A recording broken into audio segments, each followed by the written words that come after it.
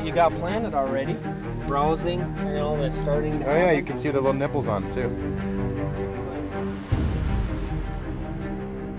You know, this plant's going to get a lot taller, and we got another four weeks of solid growing here before we start to cool down.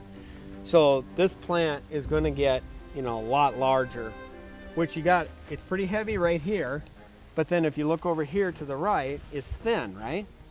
So what we'll do today is we'll come in to the areas that don't have any of these plants that are starting to grow, and we'll come in here and we'll basically reseed some of those areas so it'll eliminate some of these bare spots. And then we're gonna do something kind of special. I'm not gonna tell you what it is until we start putting it up, but I think you're gonna like it.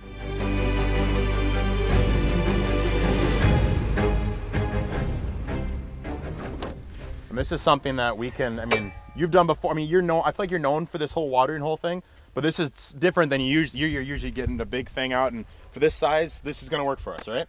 Well, yeah, because we can do this manually by putting it in, you know, with some shovels instead of having to get big equipment back here. So I just kind of lay it in here and gonna go around and mark the edges, you know, and then so I know where I got to dig. But you're, we're only gonna have to dig down a foot or so. Yeah. You could leave it above ground if you wanted to. Yeah. You really could, but just cosmetically, it's going to blend in. This has got a gritty surface. We'll throw a little bit of dirt in there. Then you just bring in, uh, you know, put your water tank or hook your water tank up to the back of the Polaris, and you can come in here and manually fill this up. They make three sizes. This is the mid size, uh, which is in the middle, and this will hold 80 gallons of water. Oh, okay. You That'd know? be a lot of five gallon buckets then. I, I preferred pulling the tank. Yeah, you'd be making It'd be a lot of trips. 16 trips. Yeah.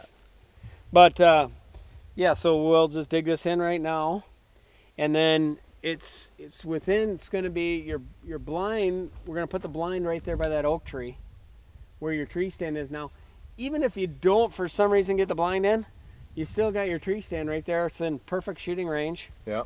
You know the deer coming from this way, and now we're going to have a water source right here. Perfect. I mean, a lot of people miss this little connection where they plant a food plot, but then they don't provide a water source.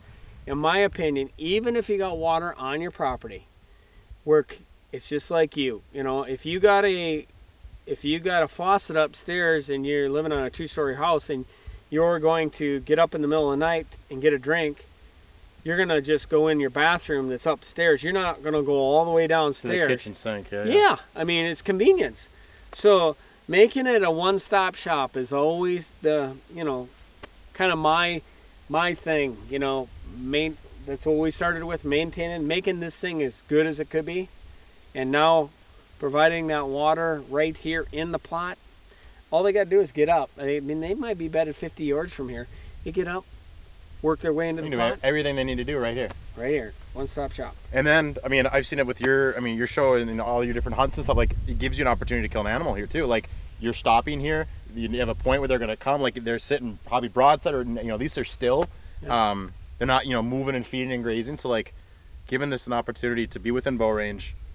Yeah, I'm excited. I'm excited to see like actual come full turn Yeah, and, and have and have animals actually come and use it. You know. Yeah. Uh, let me grab a shovel so like you're not just shoveling Uh, yourself. yeah, I have a shovel to fit your hand too. Yeah, yeah. Per- Perfect.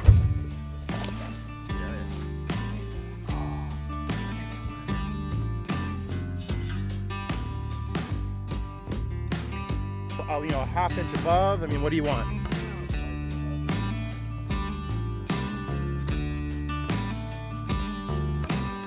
When you when you back off and look at it, like you can't even see anything. You No. know what's here.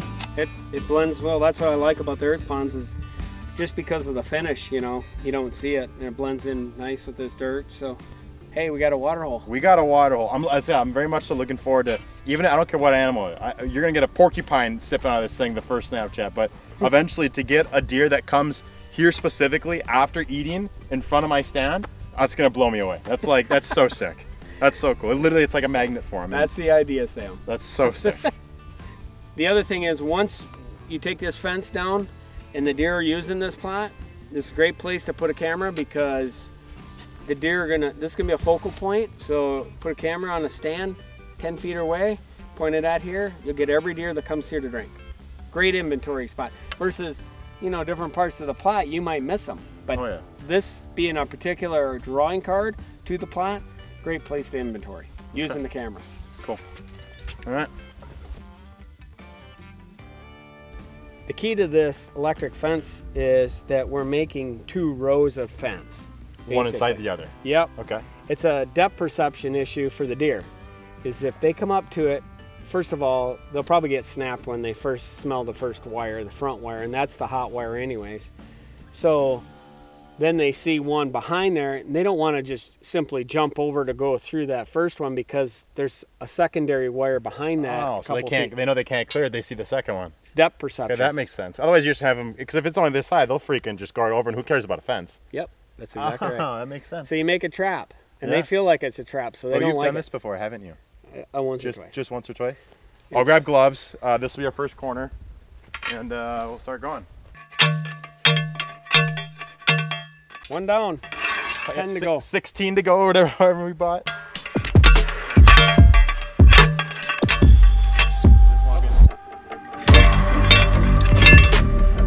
This is what we'll put the actual solar panel on.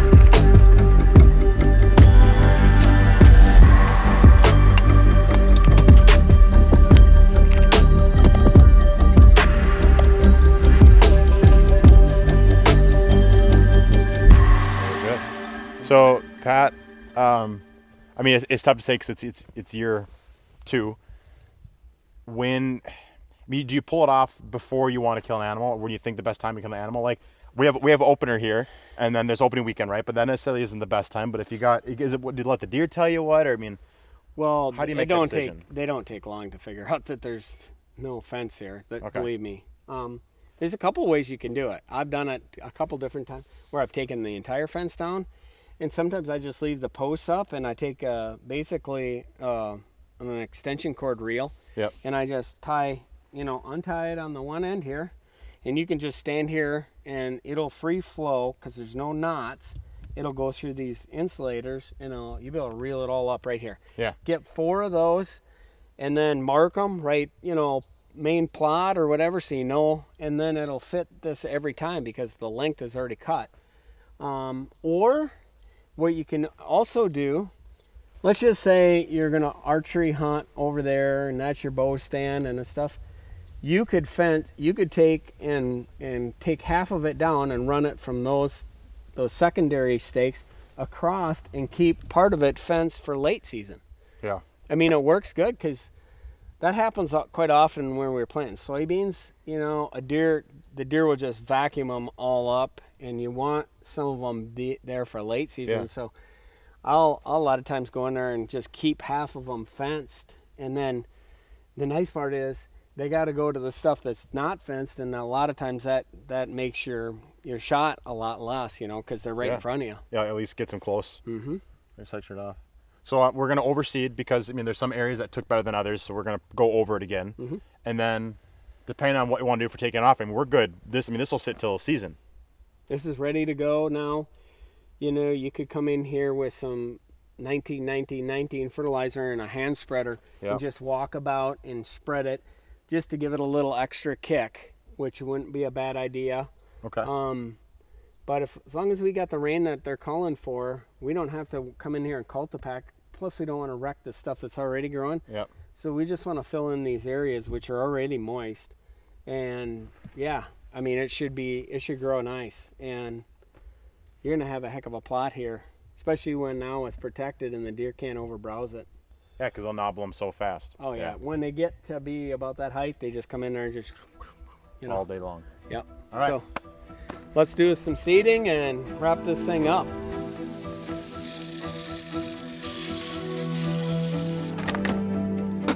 Kind of one last final thing I think we could do today to sweeten this little honey hole up a little better. It's it's it's turned into a little honey hole, is what it is. Yeah, I want you to pay attention to what has happened here. You came in here and brush hogged this edge and kind of cleaned this Yeah. up, right?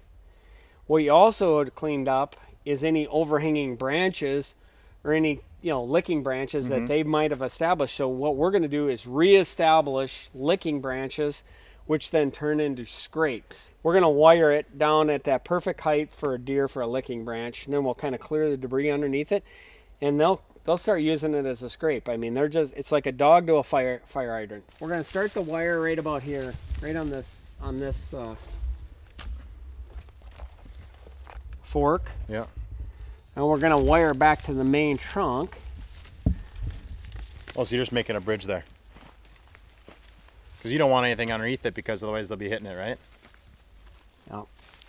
Well, they're gonna be using be the out the end, end of here, it. yeah. they're gonna be using the end of it. So, and you're gonna go back to there. And I gotta, All the way to the base? um, no, back to the, about the middle of it, right there. Okay. Wrap it around a couple times. Right about there? Yeah, that's perfect. Yeah. Right here, you know, you want them to hit this licking branch. Cause they they'll even stand up on their back legs, but this is about that I've perfect. seen that it's before. about eye level. You know, one final step is just kind of making sure you don't have any rock or any sticks down here. All right, that looks beautiful. Like that literally, yeah, that looks beautiful. When they start using this, it's a great place to put a camera. You could, you're gonna get a lot of inventory of just more more bucks than does. Well, you have like the Taj Mahal of, of what, warm, insulated, pretty much scent-proof blinds coming, and we got a spot for it. And I mean, what else is there to do other than wait? Yeah, that's. I mean, that muddy is going to be a huge game changer when it comes to you know sitting in here, not having to worry about the wind. You don't have to play it as much because it's scent tight, Which, I mean, it's already burned me once. and it's going to be. I mean, it's a game changer. And we got a perfect spot on that side of the plot. Of course, we got the earth pond out there. You know, 20, 25 yards away from where you're going to place the blind. This is all reseeded now in the weak areas. And now we protected it with the Hui Man electric system. I mean, it's dialed. We got a system, dude. We got. I mean, like compared to, I mean, again, last year I thought it was dialed even going into this year, and now it's completely different. We transformed it again. Uh, it's a completely different setup, and to be able to hold this stuff back from deer is gonna be very interesting. I just liked uh, it was fun doing it, you know, working on this piece because you know we're in phase two Yeah. and we're taking it to the next level. This plot was good last year, wasn't great, didn't need to be great Yeah. because it was the first year. That's right. Just like your secondary plot that we worked on, you know, um, tho- those plots will get better and better. This one will too. You'll notice the soil will get better because you know that brassica next year is going to break down. It's going to add nitrogen into the soil. You could possibly get by with planting soybeans in this plot next year.